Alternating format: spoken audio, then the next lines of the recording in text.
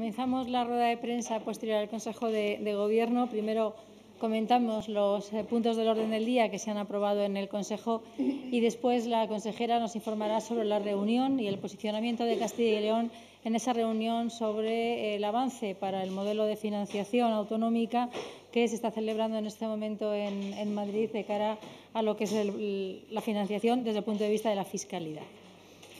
El primero de los expedientes que ha aprobado el Consejo de Gobierno relacionado con la Consejería de, de, Educación, un expediente muy importante por el que se aprueba el convenio entre el Ministerio de Educación, la Junta y la entidad pública empresarial Red.es por un importe de 39.610.800 euros que permitirán la extensión de la banda ancha ultra rápida a 1.410 centros docentes de la comunidad este convenio tendrá vigencia hasta el 30 de marzo de 2019, si bien después puede prorrogarse, y permitirá tener esta eh, banda ancha y esta rapidez y agilidad en las conexiones en todos los centros, fundamentalmente ubicados en el medio rural, la mayoría ubicados en el medio rural.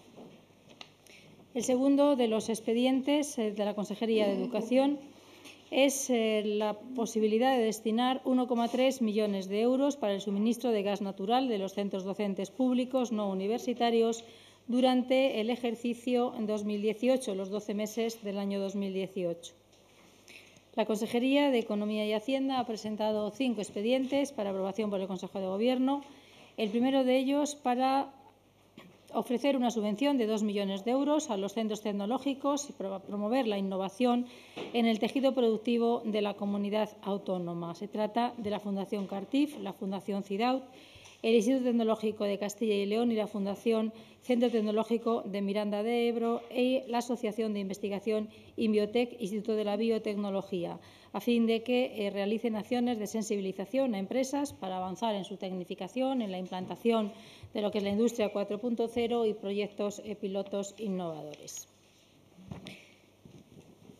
Asimismo, la Consejería de Economía y Hacienda ha, aprobado, ha presentado para su aprobación la financiación de 449.222 euros a diferentes centros de innovación, a los clústeres de innovación en Castilla y León, eh, para impulsar la excelencia de estos centros, eh, fundamentalmente obtener ese sello de excelencia y esa acreditación necesaria y también para que trabajen en el retorno del talento. Tienen la relación de todos los clústeres y la financiación individualizada de cada uno de ellos en la nota de prensa. Asimismo, se ha presentado una subvención para la Fundación ICAMCIL, 700.000 euros, en este caso para proyectos de I+, de I+I, sobre recursos mineros para impulsar su aplicación industrial. Se trata de financiar durante el periodo 2018-2020 el desarrollo de estos dos proyectos de I+D en el ámbito de los recursos endógenos, mineros y de las tecnologías de materiales avanzados basados en materias primas autóctonas. Igualmente, la Consejería de Economía ha presentado para su aprobación una ayuda de 500.000 euros para la iniciativa social en el municipio leonés de La Robla, que generará 30 empleos, porque de hecho se va a finalizar la actuación relacionada con las obras en una residencia de personas mayores y un centro de día. Por lo tanto, se pondrá en marcha este nuevo servicio con 30 empleos directos eh, previsibles en este momento. Y las diputaciones provinciales recibirán 396.000 euros, también de mano de la Consejería de Hacienda, en este caso para colaborar en el plan de abastecimiento comercial y el impulso en turismo de compras en el medio rural. Como bien saben, un plan presentado hace eh, pocas fechas por la propia consejera. Cada diputación provincial recibirá 44.000 euros a fin de eh, participar como integrantes en la red de agentes de comercio interior y en el marco de las acciones eh, previstas en el tercer plan de comercio impulsado por la Junta. La Consejería de Fomento y Medio Ambiente ha presentado dos expedientes para aprobación en el Consejo de Gobierno la primera de ellas para aprobar la financiación de 738.799 euros durante los ejercicios 2017-2019 eh, para firmar el convenio con el Consorcio Provincial en la Gestión Ambiental y Tratamiento de Residuos Sólidos en la provincia de Segovia. El segundo de los expedientes de la Consejería de Fomento y Medio Ambiente es para aprobar una subvención de 720.000 euros a las diputaciones provinciales y ayuntamientos de más de 20.000 habitantes a fin de realizar actividades de educación ambiental a razón de 30.000 euros cada una de las 24 entidades locales. Eh, podrán realizar actividades con esta financiación relacionadas con información, con acciones de educación ambiental en el marco de la segunda Estrategia de Educación Ambiental de Castilla y León 2016-2020. La Consejería de Agricultura y Ganadería ha presentado para su aprobación una subvención de 50.000 euros al Consejo de Agricultura Ecológica de Castilla y León a fin de impulsar la competitividad en el sector de la agricultura ecológica. En concreto, con esta subvención eh, se podrá poner en marcha una herramienta tecnológica que permita gestionar toda la información disponible sobre el sector, la conexión, la red de agricultores e-, ecológicos y, fundamentalmente, facilitar la tramitación anual de las ayudas de Agricultura Ecológica. La Consejería de Presidencia ha presentado para su aprobación la concesión de 335.000 euros al Ayuntamiento de Ávila para el proyecto de iluminación ornamental del Monasterio de la Encarnación y de su entorno en dicha ciudad.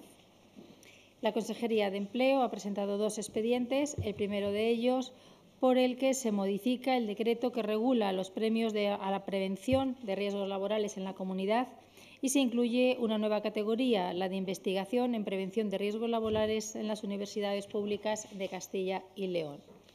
El segundo de los expedientes de la Consejería de Empleo es para aprobar una financiación de 578.658 euros que permitan prorrogar el contrato de mantenimiento de los sistemas informáticos de intermediación laboral y de formación para el empleo que tiene el, el ECIL años 2018 y 2019. La Consejería de Cultura y Turismo ha presentado un expediente para aprobación por el Consejo de Gobierno, en este caso para poder financiar con cerca de 300.000 euros la contratación de las obras de construcción de la cubierta de protección de una, la cueva en el yacimiento arqueológico de Atapuerca.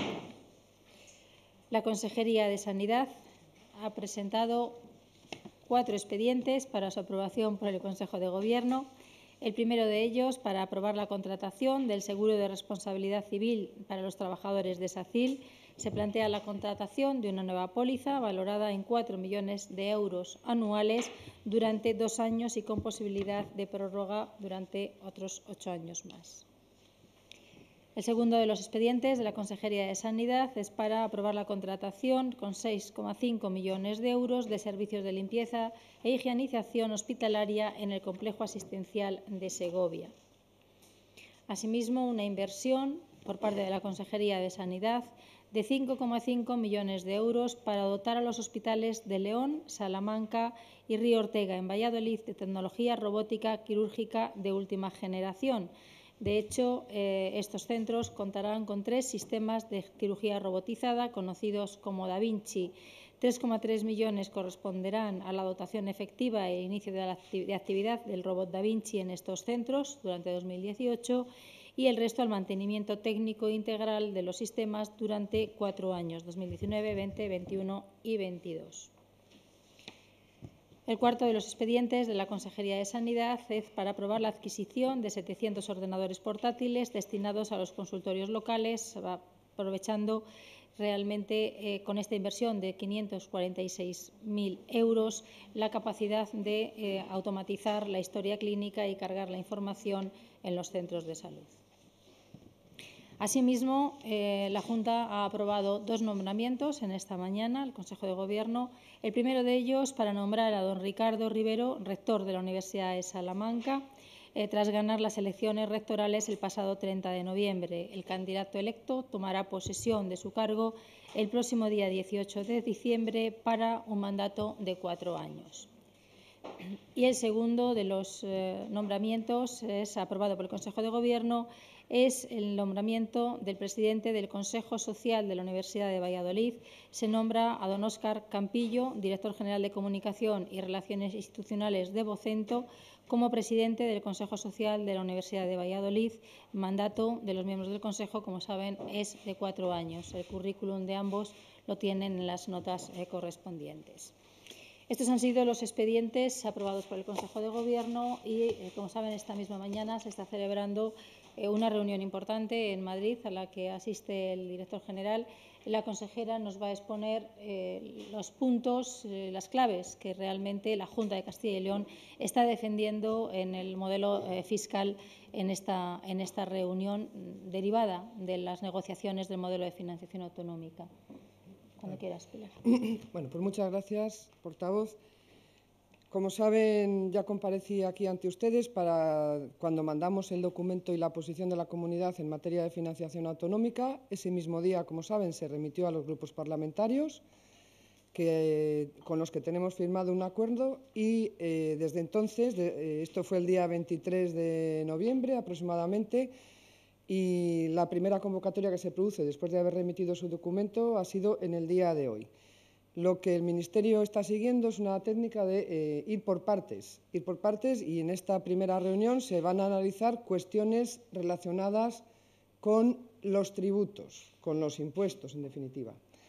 Entonces, respecto, nosotros lo que hemos hecho ha sido elaborar un documento que se ha remitido a la Secretaría del Consejo de Política Fiscal y Financiera sobre cuál es nuestra posición en torno a, los tributos, porque, como saben, el modelo de financiación lo primero que hace es establecer una cesión de tributos de los tributos estatales a las comunidades autónomas en unos porcentajes de cesión.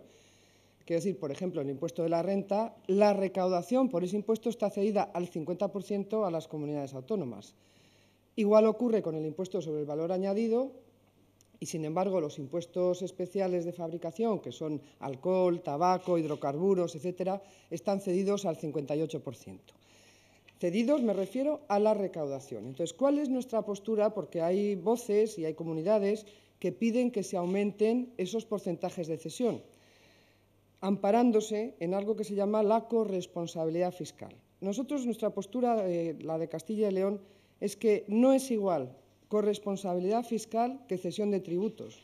No tenemos nada que decidir ni que ser responsables de nada, porque lo que hace el Gobierno simplemente de lo que recauda da una parte al modelo de financiación a, las comunidades autónomas. ¿Por qué nosotros consideramos que no es igual corresponsabilidad eh, fiscal que cesión de tributos? Eso es un indicador muy pobre. Hay otras maneras de corresponsabilizarte fiscalmente, que puede ser modificar los tipos impositivos, eh, puede ser declarar mínimos exentos, poner deducciones fiscales, gestionar de otra manera esos impuestos, compartir la gestión. O hay otras cosas que no son la propia cesión de tributos. Y nosotros no queremos que se incrementen los porcentajes de cesión de tributos, de cesión de la recaudación a las comunidades autónomas, porque eh, eso, si se aumentan los porcentajes de cesión, en definitiva van a tener muchos más recursos, aquellas comunidades en las que viven un conjunto de personas que tienen un mayor grado de riqueza o un mayor grado de renta. Eh, es decir, si en una comunidad se acumula eh, un gran número de personas con un elevado grado de renta, recaudarán más, pero con los mismos tipos. No quiere decir que hayan ejercido esa corresponsabilidad fiscal.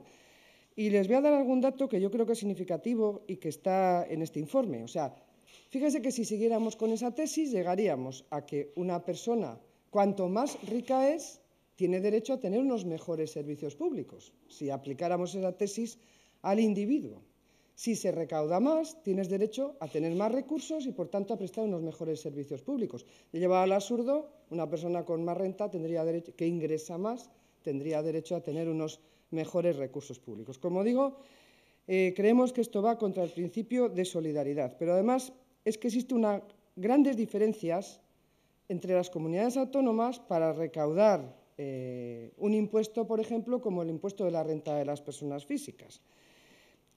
Mm, para que se hagan una idea, y les doy algún dato, si cogemos, es un concepto un poco técnico, las bases liquidables del impuesto de la renta de las personas físicas y lo dividimos entre el número de habitantes de España, sale a 5.700 euros por habitante, de media. Pues, por ejemplo, hay una comunidad, si quieren algo se lo repito, eh, son temas un poco técnicos. Si quieren una comunidad como Madrid, por ejemplo, la media son 9.600 euros. Eh, una comunidad eh, como Extremadura, la media son 4.000 euros. O sea que estamos en unos límites en los que con los mismos tipos, pues unas comunidades recaudan mucho más que otras porque tienen bases imponibles superiores, porque tienen más gente que, que tiene más riqueza y más renta. Entonces, una misma medida en una comunidad y en otra tiene un efecto bien distinto. De manera que hay una comunidad, por ejemplo, que si subiera un punto el tipo del impuesto de la renta, recaudaría muchísimo más que otra comunidad. ¿Por qué? Por la diferente estructura de las, de las rentas. Igual ocurre si tomamos datos de la liquidación definitiva del año 2015, que es la última que hay, y, vemos cuánto nos dio el IVA y, y, los impuestos especiales, cuánta recaudación recibimos las comunidades autónomas. 41.000 millones. Aquí no hay ninguna competencia normativa, ni podemos regular nada del IVA, ni podemos regular nada del impuesto especial de tabaco, ni de alcohol, ni de nada. Y, sin embargo, fíjese las diferencias. La media de recursos por habitante que nos proporcionaron estos impuestos fue de 1.890 euros. Pues hay comunidades que su media es un 20% superior y hay comunidades que están en el 75%. Eso sin hacer nada. Luego no hay corresponsabilidad fiscal. Simplemente se da esa acumulación de personas que consumen más, que gastan más en ese territorio. Por tanto, eh, un incremento en los porcentajes de cesión entendemos que aumentaría las diferencias ya grandes que existen y tendría un impacto muy negativo sobre la solidaridad entre todos los españoles. Otro de los puntos que tratamos en este informe es la lealtad institucional, porque el Estado muchas veces regula cosas, o sea, impuestos que, recaudamos las comunidades autónomas y que con sus decisiones normativas perjudica esa recaudación, baja la recaudación en las comunidades autónomas. Eh, y, por ejemplo, les voy a poner un ejemplo. Hubo una exención, que el Estado la declaró, en el impuesto de transmisiones patrimoniales de actos jurídicos documentados de las operaciones que realizaba eh, el SAREF. SAREF, saben que era el banco que se cogió todos los activos tóxicos, por decirlo de alguna manera, de toda la banca. Bien, pues eso lo declaró exento el Gobierno de España, claro, y eso lo recaudábamos las comunidades autónomas. Y claro, hemos perdido recaudación por ese impuesto. Eh, lo que nosotros eh, pedimos, hay más cuestiones que afectan también muchísimas más. Por ejemplo, hubo dos decisiones que fueron fundamentales. En el año 2009, que es el año base del modelo, es decir, a partir de 2009 evoluciona el modelo con unos índices, pues se tomaron dos decisiones que supusieron para las comunidades autónomas una pérdida de recaudación de 6.550 millones. Y como ese es el año base, pues a partir de ahí evoluciona y tenemos menos recursos todas las comunidades autónomas. Bien, lo que nosotros nos pronunciamos en relación con estas decisiones que puede adoptar el Gobierno, pero que tienen la obligación de remitir al Consejo de Política, lo que pedimos, ¿eh? remitir al Consejo de Política Fiscal y Financiera las normas que vayan a ser modificadas, que nos digan qué memoria económica tienen, cuánto nos va a costar y, por supuesto, que nos pronunciemos, dado que afecta a la recaudación de todas las comunidades autónomas. Otra de las cuestiones que se tratan, estoy haciendo un resumen, ¿eh? porque es largo el documento, es los regímenes forales. Aquí nos hemos pronunciado ya, y voy a repetir porque me parece importante, sobre la ley del cupo. La ley del cupo eh, llevó a los pocos días, creo que al día siguiente, se anunció ya una bajada de impuestos en el ámbito del el territorio vasco, o sea, en el País Vasco. Nosotros siempre eh, nos cuestionamos si con esta ley del cupo, eh, ¿cómo afecta a la financiación per cápita? Es decir, ahora mismo hay unas enormes diferencias entre la financiación per cápita de un vasco y la financiación per cápita de un castellano y leones. ¿Con esta ley del cupo van a aumentar las diferencias? No lo sabemos, porque ¿qué pedimos? Por supuesto, transparencia. Queremos conocer en este comité de expertos que se reúne los cálculos relativos a todas las transferencias que existen entre el País Vasco y el Estado español y queremos saber cuál es de verdad esa financiación efectiva y esas transferencias, que, como digo, no las conocemos. Ya lo hemos dicho, pedimos transparencia al Gobierno de España y lo pedimos en el seno donde lo tenemos que pedir, que es el Consejo de Política Fiscal y Financiera. Y también pedimos otra cosa respecto del cupo. Eh, que se modifique la regla de cálculo. ¿Ahora qué se hace? Se hacen, aparte de la ley del cupo, hay unos ajustes por el impuesto sobre el valor añadido que suponen transferencias del Estado a la comunidad foral vasca. Nosotros lo que pedimos es que esas transferencias y ajustes que se han hecho por un pacto bilateral entre el Gobierno y el País Vasco, que no se detraiga de la parte de las comunidades autónomas, que se detraiga de la parte de recaudación del Estado. Es otra de las cuestiones es que nos parece, y luego, mm, muy importante, otras dos cuestiones en relación con la foralidad, que no es justo exigir a las comunidades de régimen común, que todas las demás, que nos sometamos a los límites que tenemos para ejercer la capacidad normativa, eh, no podemos bajar el impuesto de sociedades aunque queramos, y que eso no se les exija en las comunidades forales. Queremos que se exija lo mismo. Si hay unos límites mínimos de tributación, que esos límites se apliquen igual en el País Vasco que en el resto del territorio común. Porque, porque si no iríamos a lo que ya les hemos dicho, a una competencia fiscal desleal. Si una comunidad no puede y otra sí, se pagan menos impuestos en una comunidad que en otra, pues eso decide muchas veces la localización de las empresas y, por tanto, la actividad económica y el empleo.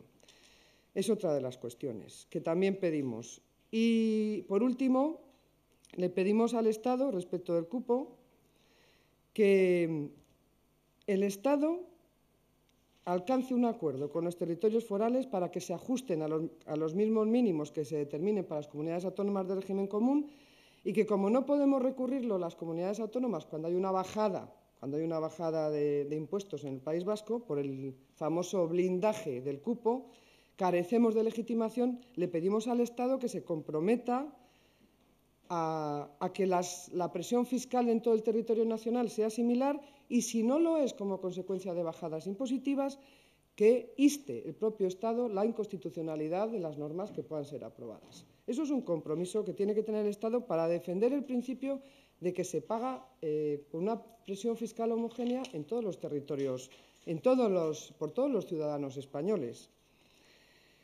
Em, respecto de la armonización fiscal, que es otro de los puntos que se tratan en el informe, estamos asistiendo a, una competencia fiscal entre muchas veces entre comunidades autónomas en lo que tenemos competencias, no en todo. De manera que hay un, un riesgo claro de competencia fiscal a la baja. Por eso le pedimos al Gobierno que acuerde un nivel mínimo de tributación y que además lo, apruebe por tarifas de carácter estatal, para evitar precisamente esa competencia fiscal entre territorios y que se cumpla con eso de que todos los españoles pagamos según nuestra capacidad fiscal, más o menos de manera equitativa. Bueno, hay otras cuestiones que voy a destacar, y ya por terminar, eh, temas de gestión tributaria. A nosotros nos está ocurriendo que hay gente que se cambia el domicilio fiscal, el cambio de domicilio fiscal conlleva el cambio de todos los impuestos que paga ese ciudadano. A veces lo hacen por un impuesto, pero realmente pues, eh, se va allí con todos sus impuestos y a veces también cambia el empadronamiento, con lo cual muchas veces el cambio de domicilio fiscal acarrea el cambio de domicilio de empadronamiento y, por lo tanto, pérdida de población también para nuestra comunidad y, sobre todo, pérdida de ingresos. Lo que le pedimos es que la agencia tributaria tiene que revisar el domicilio fiscal de estos contribuyentes que se cambian de manera ficticia y, por supuesto, que, vuelvan a su... porque no tiene sentido que reciban aquí todos los servicios públicos que financia eh, Castilla y León y que luego, o sea, el gasto lo hagamos aquí y el ingreso lo reciba otra comunidad autónoma. Entonces, lo que le pedimos al Gobierno, evidentemente, que, se ajuste el rendimiento y, sobre todo, que se tenga, como, criterio para el cambio de domicilio dónde reciben los servicios públicos. Creo que es una reivindicación justa. Y, por último, pedimos una, eh, una ampliación, estamos hablando de capacidad tributaria y de capacidad fiscal, pedimos una ampliación del espacio fiscal que tenemos las comunidades autónomas eh, a los tributos medioambientales. Creemos que son los, tributos medioambientales, creemos que tienen que ser competencia de las comunidades autónomas. En eso no estamos muy de acuerdo con los expertos, pero nosotros pensamos que en un tributo medioambiental no existe riesgo de competencia fiscal, pues que las actividades normalmente no se cambian de localización. Eh, existe escaso riesgo de quiebra del principio de unidad de mercado las externalidades negativas, es decir, si alguien se afecta al medio ambiente, está afectando nuestro territorio y además son de fácil gestión recaudatoria. Por todo ello, pedimos que si hay una ampliación del, espacio fiscal de las comunidades y, en definitiva, de nuestros ingresos, que sea por la tributación medioambiental. Y también pedimos, porque fíjense, otra cuestión que solo tienen los territorios forales, es que cuando el Estado pone impuestos, por ejemplo, el impuesto sobre el valor de la producción de la energía eléctrica o, el impuesto sobre la producción de combustible nuclear gastado y residuos radiactivos resultantes de la generación de energía nucleoeléctrica, o el impuesto sobre el almacenamiento de combustible nuclear gastado y residuos radiactivos, etc. Bueno, pues estos impuestos una vez que los pone el Gobierno, automáticamente se dice que son concertados con el País Vasco. ¿Y qué quiere decir eso? Que le cede automáticamente la recaudación que se produce en su territorio. Esto no ocurre con el resto de comunidades autónomas. Estos impuestos se los está recaudando el, propio Gobierno. Y nosotros lo que pedimos, impuestos concertados con los territorios forales, impuestos que deben ser compartidos con las comunidades autónomas de régimen común. Y bueno, y otra serie de cuestiones técnicas en las que no voy a entrar porque ya es muy técnico todo de por sí. Pero, en definitiva, esta es la postura que llevamos hoy al, Consejo de Política Fiscal y Financiera y la postura que mantenemos en materia de financiación relacionado con la fiscalidad de Castilla y León. Muy bien.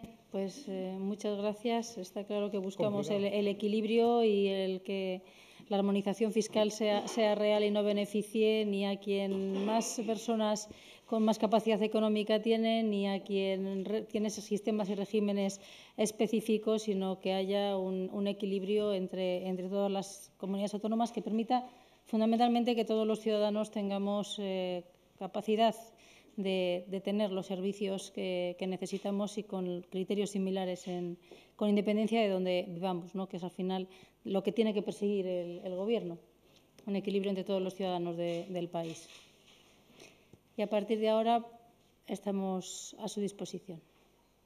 Eh, señora del Olmo, en el caso de que la corresponsabilidad fiscal prosperase, la Junta de Castilla y León se vería obligada a subir impuestos. Esa es una cuestión. Y otra, vamos, vería obligada para mantener, los, para mantener la, la liquidez para los servicios públicos. Y otra cuestión que no me ha quedado clara es si el cambio de modificación fiscal eh, el cambio social sería solo para las personas físicas o también para las empresas. Pues mire, eh, la corresponsabilidad fiscal supone, como su nombre indica, que tienes más posibilidad de subir o bajar eh, los impuestos que son de tu competencia, porque no en todo se puede. Entonces, no implica necesariamente subir impuestos, pero sí implica que un gobierno pueda valorar la posibilidad de subirlos o no, dependiendo de, lo que quieras. O sea, que digas, un, pues, porque yo pienso, y es una opinión eh, personal mía, que muchas veces se sube un impuesto y no con ello se consigue recaudar más. O sea que, pero evidentemente puede supone subir y bajar. Y en cuanto al cambio de domicilio fiscal, solo es en las personas físicas porque las personas jurídicas pagan otro impuesto, eh, las personas físicas pagan el impuesto de la renta de las personas físicas, como su nombre indica. Y, ese impuesto está cedido a las comunidades autónomas. Luego, cualquier modificación del domicilio, dejan de pagarlo aquí, lo pagan en otra comunidad y dejamos esos ingresos, eh, dejamos de percibir esos ingresos. Las personas jurídicas declaran por el impuesto de sociedades. Y eso eh, no, está cedido en absoluto por el principio de unidad de mercado. Es un impuesto que no está cedido y que no se ha planteado nunca la cesión a las comunidades autónomas. Los únicos que pueden regular el impuesto de sociedades son los territorios forales, que por eso desde Castilla y León decimos, hombre, que haya una presión homogénea. No tiene sentido que una sociedad en Miranda pague un 25% y en el País Vasco pague un 20%. No tiene ningún sentido, si es que somos todos, Si es que la persona jurídica es española igual y, bueno, pues eh, la tributación tiene que ser, la presión fiscal tiene que ser homogénea en el territorio. Y eso le afecta a las personas físicas.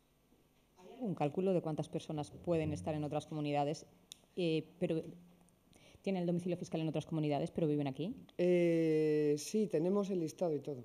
No es un cálculo, lo que pasa que por razones... Razones de, confidencialidad yo no les puedo dar ni nombres. Sí que les digo que, por ejemplo, el año último se han cambiado más de 100 personas de domicilio fiscal. Fundamentalmente se cambian a una comunidad donde no hay impuesto de patrimonio y, son generalmente no son los más pobres los que se cambian. ¿Los servicios sociales los reciben aquí? ¿Eh?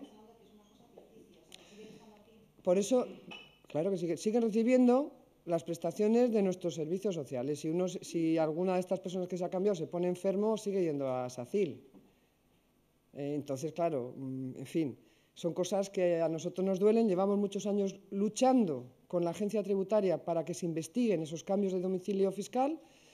La agencia ha investigado algunos, pero cuando llega al convencimiento de que ha habido un cambio de domicilio ficticio, tampoco nos ingresan el dinero de ese contribuyente en la Junta de Castilla y León se lo queda la comunidad donde está. Entonces, por eso pedimos que haya un cambio, pedimos que haya un cambio, porque eso lleva a que, claro, ¿dónde se domicilia la gente? Pues donde menos presión fiscal relativa hay.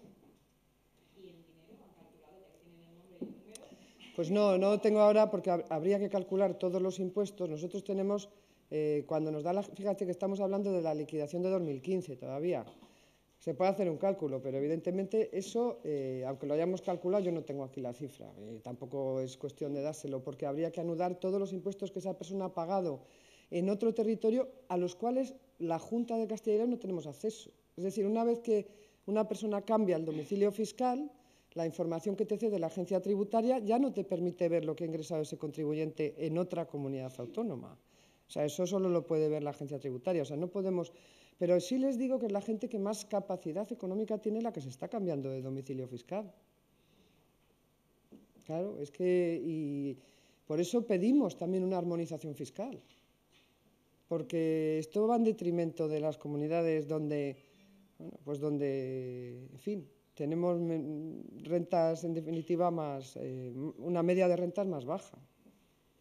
Mm, condicionar eh, la prestación de los servicios, en, más bien la sanidad, a que la gente esté empadronada aquí. Creo que Madrid lo hizo y precisamente no sé cómo valora que Madrid, porque ha hablado del País Vasco, pero Madrid es una de las comunidades que más competencia hace a Castilla y León por su reducción de impuestos y porque tampoco tiene el impuesto de patrimonio. ¿Qué quiere? ¿Que, si, que les quitemos la tarjeta sanitaria? Eh, yo creo que, eh, me parece, yo entiendo menos de, Creo que la tarjeta sanitaria en todas las comunidades, ahora ya hubo un acuerdo de la conferencia de presidentes sobre la tarjeta también social. No, hombre, es una cosa que yo creo que hay que prestárselo a, todos los españoles, vivan donde vivan. No podemos andar, usted que está desplazado no le vamos a prestar asistencia sanitaria. Hay unos procedimientos que te permiten que esa asistencia sanitaria se presta. Me parecería durísimo que le tengas que pedir a uno el domicilio fiscal cuando va al, médico.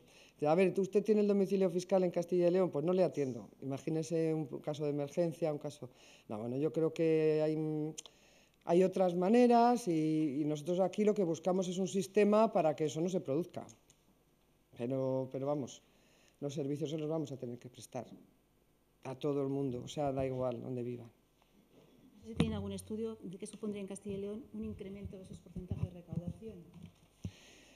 Eh, bueno, es que tampoco, o sea, estamos en este momento. Nosotros lo que defendemos es que no haya mayor porcentaje de cesión de, de la recaudación, por esas razones que les he dado, porque beneficia fundamentalmente a los lugares donde hay más gente con un nivel más alto de riqueza y de renta que a otros. Entonces, va contra el principio de solidaridad. No hemos echado, no tenemos ese cálculo, intuitivamente no hace falta hacerlo. Sabes que una mayor cesión, que no es una mayor corresponsabilidad fiscal, va a beneficiar mucho más a regiones donde hay un mayor porcentaje de gente con mayores ingresos. Tampoco hace falta echar. Sí, eh, nosotros estamos en la media, más o menos. ¿Esta postura que ha llevado hoy Castilla y León es sola de Castilla y León o también se ha consensuado con las otras comunidades autónomas con las que habían hablado? No, sabe, no sé si hay algún Sí, tipo de es, consenso. es compartida. Sí, nosotros cuando estos documentos se, lo- se los solemos eh, circular a todas las demás comunidades autónomas para que conozcan la postura de Castilla y León y, por tanto, hay algunas que nos han manifestado claramente que estaban totalmente de acuerdo con nuestra postura. Y la van a presentar en términos muy parecidos. ¿Cuáles? Las, eh, imagínese, eh, las que con las hace poco recientemente el presidente de la Junta de Castilla y León, el presidente del Principado de Asturias, el presidente de Galicia firmaron un documento bastante concienzudo y donde muy bueno, donde se fijaba lo que eran las líneas en materia de financiación. Al menos esas tres estamos de acuerdo, pero algunas otras que no firmaron ese documento también nos han manifestado su total acuerdo con este documento, que son más o menos pues, con las que tenemos unas características similares. Me imagino que Extremadura estará muy de acuerdo en casi todos los planteamientos que hagamos, o, el propio Cantabria, en fin, que somos comunidades con, pues, parecidas. En muchas cosas nos parecemos, en otras no.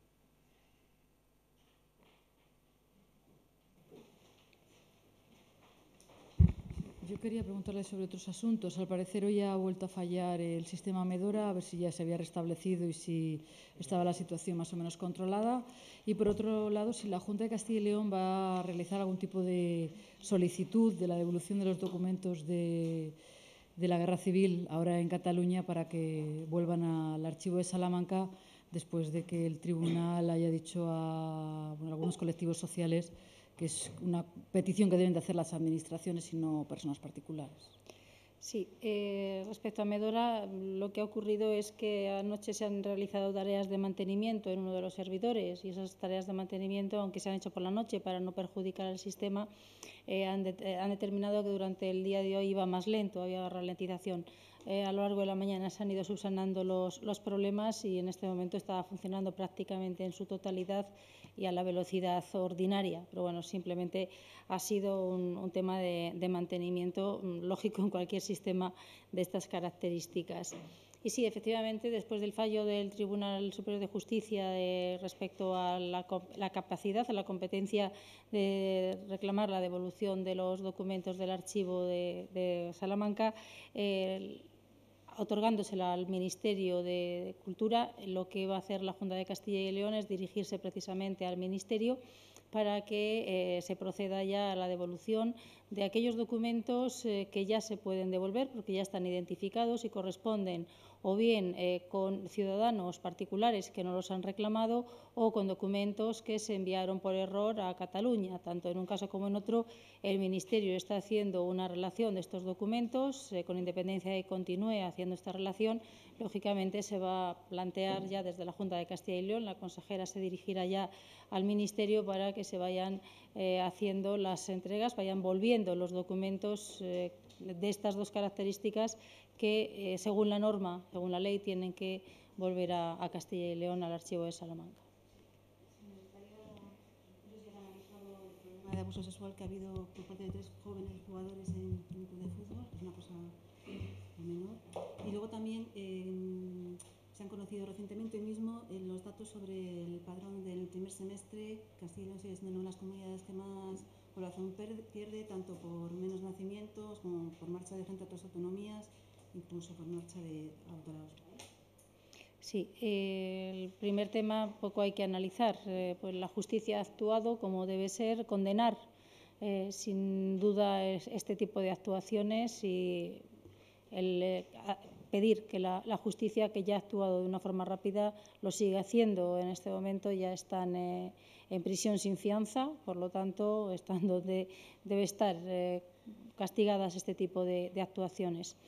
Y por otro lado, el, el tema del padrón, pues lógicamente no es una, una buena noticia, no podemos plantearlo en otros términos. Es cierto que eh, son malos datos para toda España, que hay una pérdida de población en toda España, eh, en Castilla y León también, muchas comunidades autónomas, la mayoría el saldo es, es negativo, por lo tanto, seguir trabajando en la línea en la que eh, queremos seguir avanzando. Los presupuestos se aprobarán la semana que viene y ustedes saben que ahí van medidas vinculadas y asociadas a la mejora de las eh, contribuciones por parte de las familias numerosas, a reducciones también no solo de familias numerosas, sino por nacimiento de hijo, a la reducción de las tasas en las universidades, al incremento del apoyo a los libros de texto, pues medidas que en su conjunto pensamos que pueden contribuir eh, junto con la mejora y el mantenimiento de los servicios en el medio rural. Por lo tanto, todo un paquete de medidas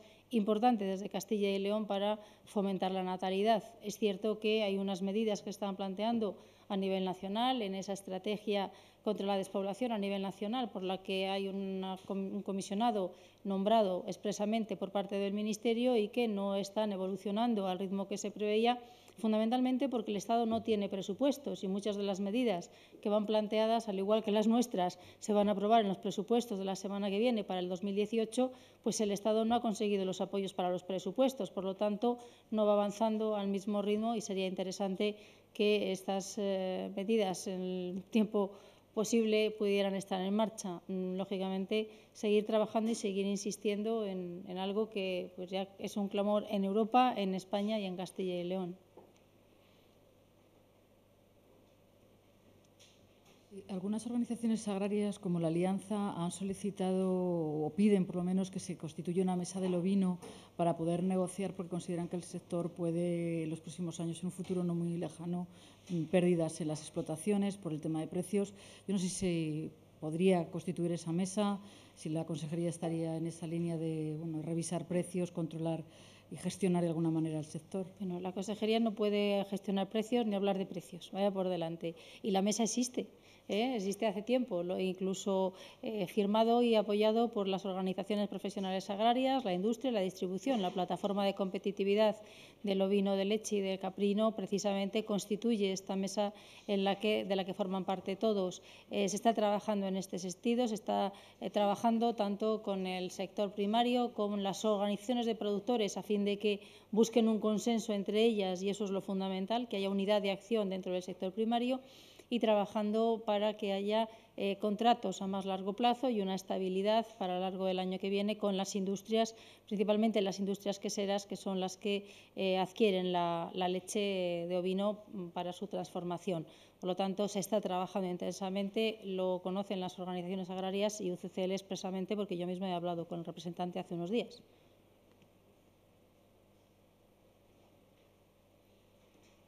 ¿Alguna cuestión más? A raíz del debate ayer en el Pleno con el tema de las competencias impropias y teniendo en cuenta que siguen las peticiones desde diputaciones como la de León, eh, ¿cabe la posibilidad de retomar la negociación para buscar otra línea de financiación ante esa petición que insisten las diputaciones de que llegue más dinero de, la Junta? A ver, eh, son dos cosas diferentes. Una cosa es la competencia y otra cosa es el dinero. Eh, competencia tienen y es propia, es suya, la otorga la ley y es eh, su competencia porque está así asignada desde la Junta de Castilla y León, que es quien tiene la capacidad para asignar las competencias. Está regulado en la Ley de Servicios Sociales, en la Ley del Mayor y en el catálogo de servicios sociales. Por lo tanto, la competencia está clara quién la tiene. Otra cosa es que tengan un problema de financiación y que en este momento, por diferentes cuestiones, eh, lo que hace falta es estudiar las vías de financiación. Y eso, tal y como quedó claro ayer en las Cortes, lo que quiere la Junta de Castilla y León, lo que quiere el Partido Popular, es eh, que se establezca un modelo de financiación local en paralelo al modelo de financiación autonómica, es decir, que se estudien las necesidades de financiación de las administraciones públicas locales y con ello puedan financiar aquellos gastos que les son propios, como puede ser la prestación de servicios sociales o la prestación de atención residencial en sus propios centros. Eh, en este caso, y una vez que se ha analizado el procedimiento, y para eso precisamente hubo una enmienda que no llegó a prosperar del Partido Popular ayer, en las Cortes de Castilla y León, para eso es para lo que eh, se plantea ese periodo de negociación. Que no, eh, una vez que esté la financiación local, se puede hablar de transferencias. Ahora bien, hay que plantear si realmente eh, es razonable que las corporaciones locales pierdan la capacidad de gestión de los servicios sociales. Pero eso es otro debate. Por lo tanto, no vamos a dispersarnos. Competencia, clarísimamente, la tienen, asignada por las normas en vigor. Eh, problema de financiación, se resuelve donde hay que resolverlo, en el modelo de financiación local. Una vez establecido ese modelo de financiación local, se puede hablar de transferencias, claro, si lo establece la, la propia normativa de la comunidad autónoma, una vez que esté el modelo de financiación local establecido. Consejera de Economía y Hacienda, eh, el hecho de que se haya solicitado en el Congreso de los Diputados por diferentes grupos políticos la constitución de una comisión de investigación sobre las ayudas a las térmicas puede complicar o un poco más la situación después de la petición, porque todo es a raíz de la petición de Bruselas. Pues la verdad es que mm, todavía no se ha constituido, ¿no? Y se puede constituir o no. Eh, yo creo que es una cuestión, evidentemente, que, que excede del ámbito de la comunidad autónoma. Eh, y no voy a entrar si las ayudas a las térmicas han estado bien o mal eh, concedidas. Lo que está claro es que eh, hay un movimiento eh, tanto en el Congreso por parte de algunos grupos parlamentarios eh, como incluso en Europa también algunos grupos parlamentarios que lo que quieren es acabar con el, las térmicas y con el carbón. Y en ese marco es en el que hay que pensarlo. Eh, grupos parlamentarios que aquí defienden una cosa y en Madrid otra. Y el, el, el problema es, es, ese. O sea, están dando muchas bazas a las eléctricas, algunas eléctricas sobre todo, para cerrar las térmicas. Porque si están poniendo en cuestión absolutamente todo, un modelo y un sistema en el que han estado gobiernos de distinto signo político y ayudas que además eh, estaban consentidas por la Unión Europea, aunque ahora quieran investigar exactamente sobre las mismas, pues realmente lo que están haciendo es poner eh, palos en las ruedas para que nuestra comunidad, que tenemos una importante producción de energía térmica ahora en estos momentos más con el tema de la sequía, pues que, al final dando excusas a las eléctricas que por una cuestión económica, insisto, quieren cerrar las térmicas. No por una cuestión, vamos, lo de verde no lo sé, pero económica sí. Porque claro, el gas, que es lo que les interesa, es más caro que el carbón y si venden gas en el mix energético, el precio del gas marca para todo lo demás que entra en el mix ese precio. Si, si, lo marca el carbón, ganan menos. Si lo marca el gas, ganan más. Pero fíjese los problemas que ha habido con el gas. Que ahora mismo eh, había un problema gravísimo en Austria con el gasoducto, en el gasoducto que viene de Rusia y que reparte a toda Europa, eh, y un problema grave en el Mar del Norte, también de gas, porque no es un, eh, no es un, mineral, o bueno, no es en este caso autóctono, sino hay que traerlo de fuera, nosotros no lo, no lo tenemos. Y en el momento que hay un problema en el gasoducto, pues fíjese, Italia está diciendo que a ver qué hace, que no va a tener ni para suministrar a...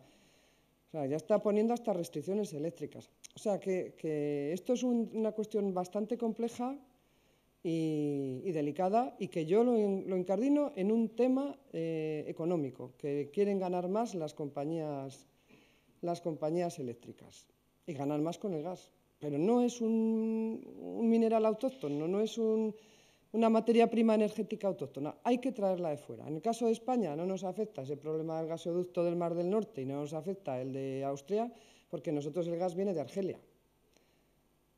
Mm, fundamentalmente. Ahora también hay otro convenio para traer gas licuado de, Rusia, pero el gas licuado es más caro todavía. O sea, que estamos hablando, y yo ahí comparto las tesis del ministro, el ministro es clarísimo en su apoyo a, en este caso, a las centrales térmicas y al carbón, porque supone que los, todos los ciudadanos españoles pagan una factura de luz más barata. Y por eso se defiende, se defiende el interés público. Bien, ¿alguna cosa más? Pues muchas gracias.